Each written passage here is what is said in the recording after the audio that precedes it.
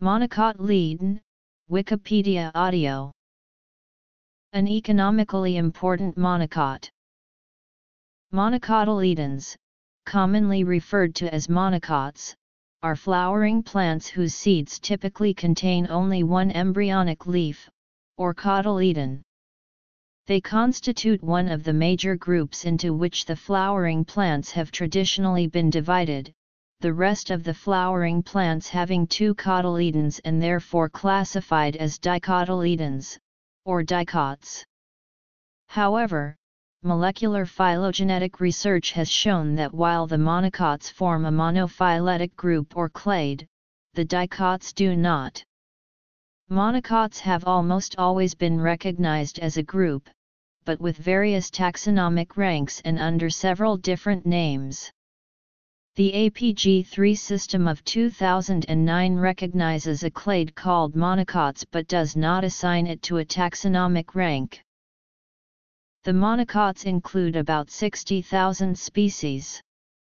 The largest family in this group by number of species are the orchids, with more than 20,000 species. About half as many species belong to the true grasses, which are economically the most important family of monocots. In agriculture the majority of the biomass produced comes from monocots. These include not only major grains, but also forage grasses, sugar cane, and the bamboos. Other economically important monocot crops include various palms, bananas, and plantains, gingers and their relatives, turmeric and cardamom, asparagus, pineapple, water chestnut, and leeks, onion and garlic. Many houseplants are monocot epiphytes. Additionally most of the horticultural bulbs, plants cultivated for their blooms, such as lilies, daffodils, irises, amaryllis, cannas, bluebells, and tulips, are monocots. Description the monocots or monocotyledons have, as the name implies, a single cotyledon, or embryonic leaf, in their seeds. Historically, this feature was used to contrast the monocots with the dicotyledons or dicots which typically have two cotyledons, however modern research has shown that the dicots are not a natural group, and the term can only be used to indicate all angiosperms that are not monocots and is used in that respect here. From a diagnostic point of view the number of cotyledons is neither a particularly useful characteristic, nor is it completely reliable. The single cotyledon is only one of a number of modifications of the body plan of the ancestral monocotyledons, whose adaptive advantages are poorly understood, but may have been related to adaptation to aquatic habitats, prior to radiation to terrestrial habitats. Nevertheless, monocots are sufficiently distinctive that there has rarely been disagreement as to membership of this group, despite considerable diversity in terms of external morphology. However, morphological features that reliably characterize major clades are rare. Thus monocots are distinguishable from other angiosperms both in terms of their uniformity and diversity. On the one hand the organization of the shoots, leaf structure and floral configuration are more uniform than in the remaining angiosperms, yet within these constraints a wealth of diversity exists, indicating a high degree of evolutionary success. Monocot diversity includes perennial geophytes such as ornamental flowers including tulips and lilies, rosette and succulent epiphytes, mycoheterotrophs, all in the lilioid monocots, major cereal grains in the grass family and forage grasses as well as woody tree-like palm trees, bamboo, reeds and bromeliads, bananas and ginger in the commelinid monocots, as well as both emergent and aroids, as well as floating or submerged aquatic plants such as seagrass. Class Monocotyledonii in the Decan system and the Engler system, class monocotyledons in the Bentham and Hooker system and the Wettstein system, class Monocotyleae in the Eichler system, class Liliaceae then Liliopsida in the Takhtajan system and the Cronquist system, subclass Liliidae in the Dahlgren system and the Thorne system. The most important distinction is their growth pattern, lacking a lateral meristem that allows for continual growth in diameter with height, and therefore this characteristic is a basic limitation in shoot construction. Although largely herbaceous, some arboraceous monocots reach great height, length, and mass. The latter include agaves, palms, pandans, and bamboos. This creates challenges in water transport that monocots deal with in various ways. Some, such as species of yucca, develop anomalous secondary growth, while palm trees utilize an anomalous primary growth form described as establishment growth. The axis undergoes primary thickening, that progresses from internode to internode, resulting in a typical inverted conical shape of the basal primary axis. The limited conductivity also contributes to limited branching of the stems. Despite these limitations a wide variety of adaptive growth forms has resulted from epiphytic orchids and bromeliads to submarine Alismatales and mycotrophic Burmanniaceae and Triuridaceae. Other forms of adaptation include the climbing vines of Araceae which use negative phototropism to locate host trees, while some palms such as Calamus manan produce the longest shoots in the plant kingdom, up to 185 m long. Other monocots, particularly Poales, have adopted a therophyte life form. The cotyledon, the primordial angiosperm leaf consists of a proximal leaf base or hypophyll and a distal hyperphyll. In monocots the hypophyll tends to be the dominant part in contrast to other angiosperms. From these, considerable diversity arises. Mature monocot leaves are generally narrow and linear, forming a sheathing around the stem at its base, although there are many exceptions. Leaf venation is of the striate type, mainly arcuate striate or longitudinally striate, less often palmate striate or pinnate striate with the leaf veins emerging at the leaf base and then running together at the apices.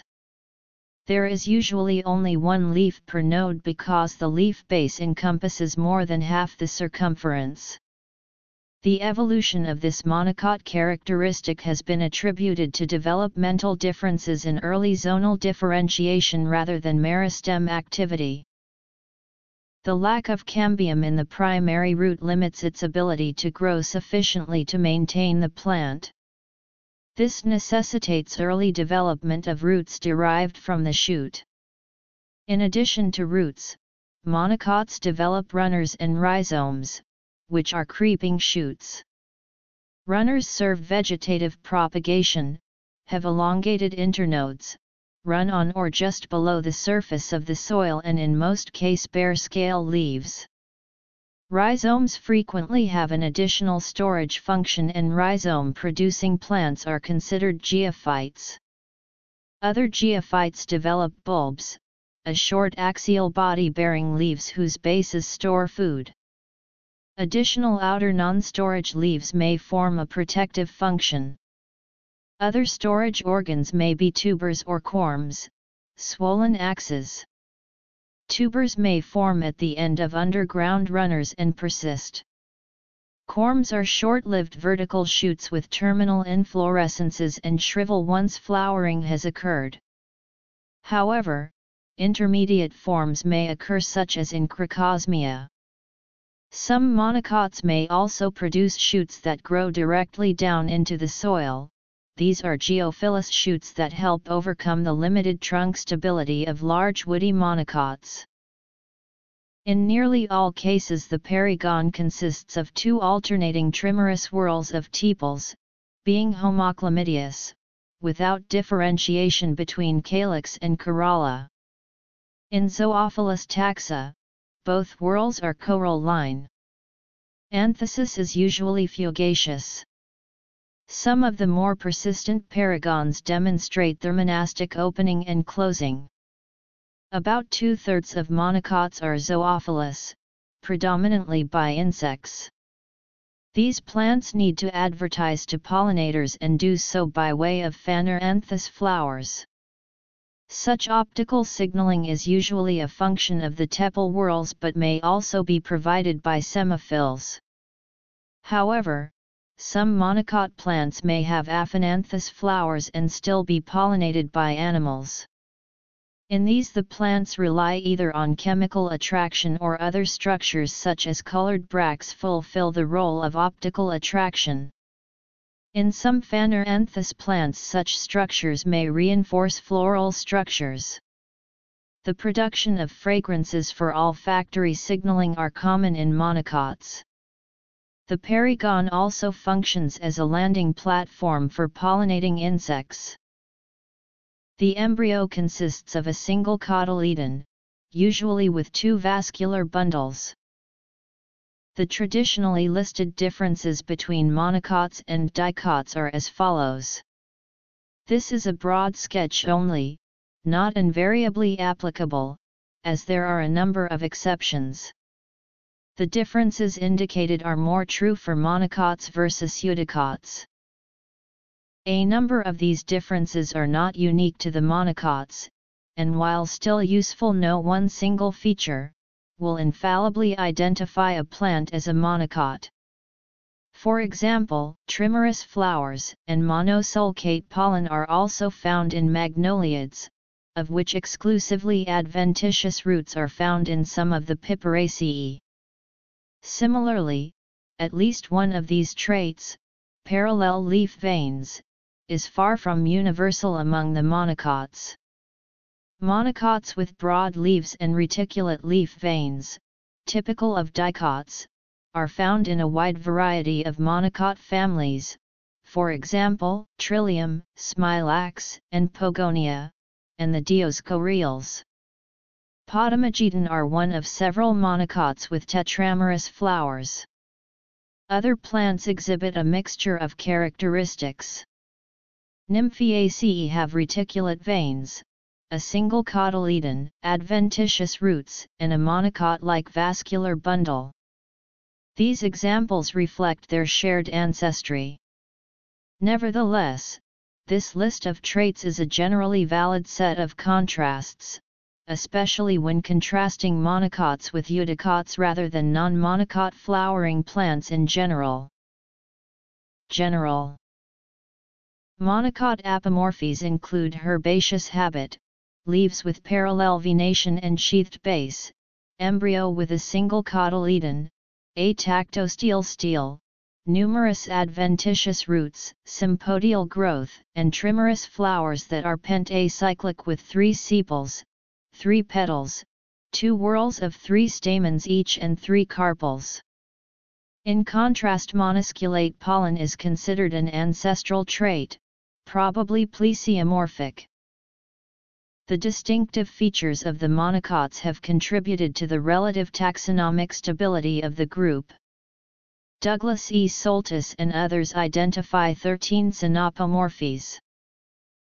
Monocots have a distinctive arrangement of vascular tissue known as an atactostele in which the vascular tissue is scattered rather than arranged in concentric rings. Parenchyma is absent in monocot stems, roots and leaves. Many monocots are herbaceous and do not have the ability to increase the width of a stem via the same kind of vascular cambium found in non-monocot woody plants.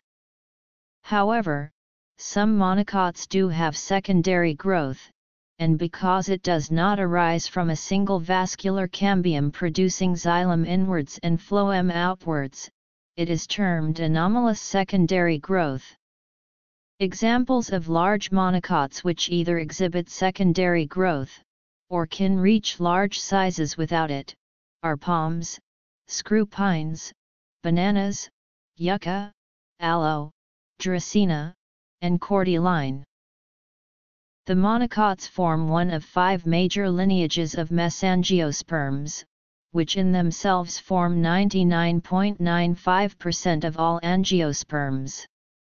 The monocots and the eudicots are the largest and most diversified angiosperm radiations accounting for 22.8% and 74.2% of all angiosperm species respectively. Of these, the grass family is the most economically important, which together with the orchids Orchidaceae account for half of the species diversity, accounting for 34% and 17% of all monocots respectively and are among the largest families of angiosperms. They are also among the dominant members of many plant communities. The monocots are one of the major divisions of the flowering plants or angiosperms.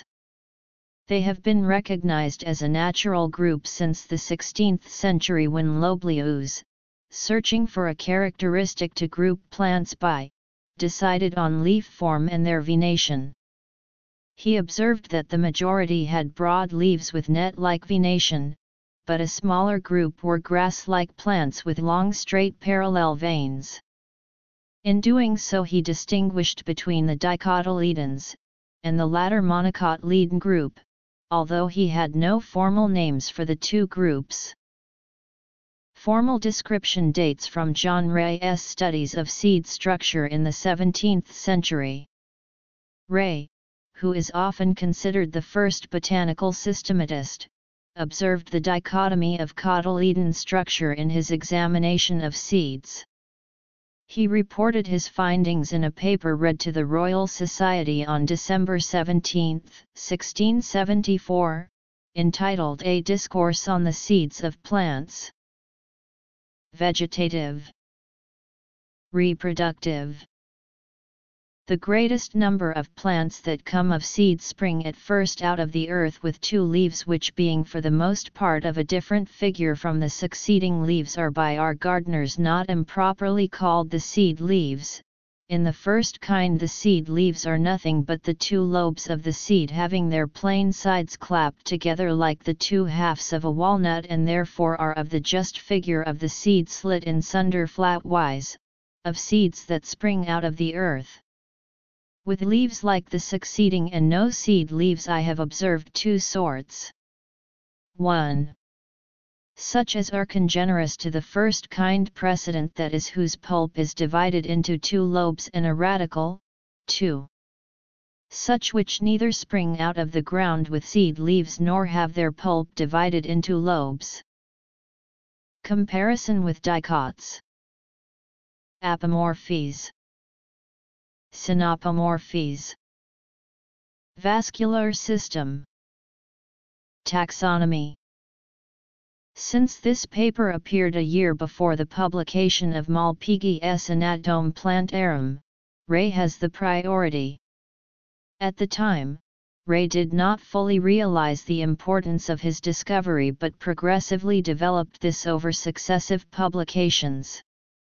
And since these were in Latin, seed leaves became Folia seminalia and then cotyledon, following Malpighi. Malpighi and Ray were familiar with each other's work, and Malpighi in describing the same structures had introduced the term cotyledon, which Ray adopted in his subsequent writing. Mens quoque me, alias seminals plantulas fabarum, and phaseolarum, Ablatus parator binis seminalibus folius, SCU cotyledonibus, incubandus posui, in the month of May, also, I incubated two seed plants, faba and phaseolus, after removing the two seed leaves, or cotyledons. In this experiment, Malpighi also showed that the cotyledons were critical to the development of the plant, proof that Ray required for his theory. In his Methodus Plantarum Nova Ray also developed and justified the natural or pre-evolutionary approach to classification, based on characteristics selected a posteriori in order to group together taxa that have the greatest number of shared characteristics. This approach, also referred to as polythetic would last till evolutionary theory enabled Eichler to develop the phyletic system that superseded it in the late 19th century, based on an understanding of the acquisition of characteristics. He also made the crucial observation ex hac seminum divisione summum potest generalis plantarum distinctio, ec meo judicio omnium prima et lunge optima, in EAS Science qui plantula seminally sunt bifolia AUT delta iota lambda beta omega, ET qui plantula SEM adulta analoga, that is between monocots and dicots. He illustrated this with by quoting from Malpighi and including reproductions of Malpighi's drawings of cotyledons. Initially Ray did not develop a classification of flowering plants based on a division by the number of cotyledons, but developed his ideas over successive publications, coining the terms monocotyledons and dicotyledons in 1703, in the revised version of his Methodus, as a primary method for dividing them, Herbifloriferae, Davidi Passant, Ut Diximus, in monocotyledons and dicotyledons. Early history Although Linnaeus did not utilize Ray's discovery, basing his own classification solely on floral reproductive morphology, the term was used shortly after his classification appeared by Scopoli and who is credited for its introduction. Every taxonomist since then, starting with de Jussieu and de Candolle, has used Ray's distinction as a major classification characteristic. In de Jussieu's system, he followed Ray, arranging his monocotyledons into three classes based on stamen position and placing them between acotyledons and dicotyledons. De Candolle's system which was to predominate thinking through much of the 19th century used a similar general arrangement, with two subgroups of his monocotyledons. Lindley followed de Candolle in using the terms monocotyledon and endogeny interchangeably. They considered the monocotyledons to be a group of vascular plants whose vascular bundles were thought to arise from within. Monocotyledons remained in a similar position as a major division of the flowering plants throughout the 19th century, with minor variations. George Bentham and Hooker used monocotyledons, as would Wettstein, while August Eichler used monocotyledonii and Engler, following de Candolle, monocotyledonii. In the 20th century, some authors used alternative names such as Bessey S. alternifolii and Cronquist S. Liliatae. Later Cronquist changed Liliatae to Liliopsida, usages also adopted by Takhtajan simultaneously. Thorne and Dahlgren also used Liliidae as a synonym. Taxonomists had considerable latitude in naming this group, as the monocotyledons were a group above the rank of family. Article 16 of the ICBN allows either a descriptive name or a name formed from the name of an included family. In summary they have been variously named, as follows. Over the 1980s, a more general review of the classification of angiosperms was undertaken. The 1990s saw considerable progress in plant phylogenetics and cladistic theory, initially based on RBCL gene sequencing and cladistic analysis, enabling a phylogenetic tree to be constructed for the flowering plants. The establishment of major new clades necessitated a departure from the older but widely used classifications such as Cronquist and Thorne, based largely on morphology rather than genetic data. These developments complicated discussions on plant evolution and necessitated a major taxonomic restructuring. This DNA-based molecular phylogenetic research confirmed on the one hand that the monocots remained as a well-defined monophyletic group or clade, in contrast to the other historical divisions of the flowering plants, which had to be substantially reorganized. No longer could the angiosperms be simply divided into monocotyledons and dicotyledons but it was apparent that the monocotyledons were but one of a relatively large number of defined groups within the angiosperms. Correlation with morphological criteria showed that the defining feature was not cotyledon number but the separation of angiosperms into two major pollen types, uniaperturate and triaperturate, with the monocots situated within the uniaperturate groups. The formal taxonomic ranking of monocotyledons thus became replaced with monocots as an informal clade. This is the name that has been most commonly used since the publication of the Angiosperm phylogeny group system in 1998 and regularly updated since. Within the angiosperms, there are two major grades, a small early branching basal grade, the basal angiosperms with three lineages and a larger late branching grade, the core angiosperms with five lineages, as shown in the cladogram. Prelinean Amborellales Nymphaeales Postlinean Austrobaileyales Magnoliids Modern era Subdivision. Evolution. Chloranthales Monocots. Ceratophyllales Eudicots. While the monocotyledons have remained extremely stable in their outer borders as a well-defined and coherent monophyletic group, the deeper internal relationships have undergone considerable flux, with many competing classification systems over time. Historically, Bentham, considered the monocots to consist of four alliances, Epigeny, Coronarii, Nudiflori, and Glumales, based on floral characteristics. He describes the attempts to subdivide the group since the days of Lindley as largely unsuccessful. Like most subsequent classification systems it failed to distinguish between two major orders, Liliales and Asparagales, now recognized as quite separate. A major advance in this respect was the work of Rolf Dahlgren, which would form the basis of the Angiosperm phylogeny group S subsequent modern classification of monocot families.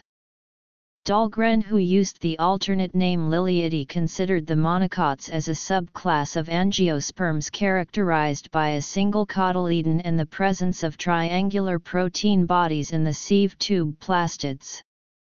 He divided the monocots into seven superorders, Alismatiflori, Ariflori, Triuridiflori, Liliiflori, Zingiberiflori, Cumliniflori, and Araciflori. With respect to the specific issue regarding liliales and asparagales, Dahlgren followed Huber in adopting a splitter approach, in contrast to the long-standing tendency to view Liliaceae as a very broad sensu lato family. Following Dahlgren's untimely death in 1987, his work was continued by his widow, Gertrud Dahlgren, who published a revised version of the classification in 1989. In this scheme the suffix flori was replaced with ani and the number of superorders expanded to 10 with the addition of Bromeliinae, Cyclanthanae, and Pandananae. Molecular studies have both confirmed the monophyly of the monocots and helped elucidate relationships within this group. The APG system does not assign the monocots to a taxonomic rank, instead recognizing a monocots clade. However, there has remained some uncertainty regarding the exact relationships between the major lineages, with a number of competing models. The APG system establishes 11 orders of monocots. These form three grades, the Alismatid monocots, Lilioid monocots, and the Commelinid monocots by order of branching, from early to late. In the following cladogram numbers indicate crown group divergence times in Mya. Acorales Alismatales Petrosaviales Dioscoreales 115 Pandanales 91 Liliales 121 Asparagales 120 Arecales Poales. Zingiberales Commelinales. Of some 70,000 species, by far the largest number are found in two families, the orchids and grasses. The orchids contain about 25,000 species and the grasses about 11,000. Other well-known groups within the Poales order include the Cyperaceae and Juncaceae, and the monocots also include familiar families such as the palms and lilies. In pre-phyletic classification systems monocots were generally positioned between plants other than angiosperms and dicots, implying that monocots were more primitive. With the introduction of phyletic thinking in taxonomy the predominant theory of monocot origins was the Ranalean theory, particularly in the work of Bessey, which traced the origin of all flowering plants to a Ranalean type, and reversed the sequence making dicots the more primitive group. The monocots form a monophyletic group arising early in the history of the flowering plants, but the fossil record is meager. The earliest fossils presumed to be monocot remains date from the early Cretaceous period. For a very long time, fossils of palm trees were believed to be the oldest monocots, first appearing 90 million years ago, but this estimate may not be entirely true. At least some putative monocot fossils have been found in strata as old as the Eudicots. The oldest fossils that are unequivocally monocots are pollen from the late Barremian Aptian early Cretaceous period, about 120 to 110 million years ago, and are assignable to clade, Pothoideae Monstereae Araceae, being Araceae, sister to other Alismatales. They have also found flower fossils of Triuridaceae in Upper Cretaceous rocks in New Jersey, becoming the oldest known sighting of saprophytic slash mycotrophic habits in angiosperm plants and among the oldest known fossils of monocotyledons. Topology of the angiosperm phylogenetic tree could infer that the monocots would be among the oldest lineages of angiosperms, which would support the theory that they are just as old as the Eudicots. The pollen of the Eudicots dates back 125 million years, so the lineage of monocots should be that old too. Kåre Bremer, using RBCL sequences and the mean path length method for estimating divergence times, estimated the age of the monocot crown group as 134 million years. Similarly, Wikström et al., using Sanderson's nonparametric rate smoothing approach, obtained ages of 127-141 million years for the crown group of monocots. All these estimates have large error ranges, and Wikström et al. used only a single calibration point, namely the split between Fagales and cucurbitales, which was set to 84 ma in the late Santonian period. Early molecular clock studies using strict clock models had estimated the monocot crown age to 200 plus or minus 20 million years ago or 160 plus or minus 16 million years, while studies using relaxed clocks have obtained 135 to 131 million years or 133.8 to 124 million years. Bremer's estimate of 134 million years has been used as a secondary calibration point in other analyses. Some estimates place the emergence of the monocots as far back as 150 Mya in the Jurassic period. The age of the core group of so-called nuclear monocots or core monocots, which correspond to all orders except Acorales and Alismatales, is about 131 million years to present, and crown group age is about 126 million years to the present. The subsequent branching in this part of the tree, including the crown Petrosaviaceae group may be in the period around 125-120 million years BC, and stem groups of all other orders, including Commelinidae would have diverged about or shortly after 115 million years. These and many clades within these orders may have originated in southern Gondwana, i.e. Antarctica, Australasia, and southern South America. The aquatic monocots of Alismatales have commonly been regarded as primitive. They have also been considered to have the most primitive foliage, which were cross-linked as Dioscoreales and Melanthiales. Keep in mind that the most primitive monocot is not necessarily the sister of everyone else. This is because the ancestral or primitive characters are inferred by means of the reconstruction of character states, with the help of the phylogenetic tree. So primitive characters of monocots may be present in some derived groups. On the other hand, the basal taxa may exhibit many morphological autapomorphies. So although Acoraceae is the sister group to the remaining monocotyledons, the result does not imply that Acoraceae is the most primitive monocot in terms of its character states. In fact, Acoraceae is highly derived in many morphological characters, and that is precisely why Acoraceae and Alismatales occupied relatively derived positions in the trees produced by Chase et al. and others. Some authors support the idea of an aquatic phase as the origin of monocots. The phylogenetic position of Alismatales, which occupy a relationship with the rest except the Acoraceae, do not rule out the idea, because it could be the most primitive monocots but not the most basal. The atactostele stem, the long and linear leaves, the absence of secondary growth, roots in groups instead of a single root branching, including sympodial use, are consistent with a water source. However, while monocots were sisters of the aquatic Ceratophyllales, or their origin is related to the adoption of some form of aquatic habit, it would not help much to the understanding of how it evolved to develop their distinctive anatomical features. The monocots seem so different from the rest of angiosperms and it's difficult to relate their morphology, anatomy, and development and those of broad-leaved angiosperms.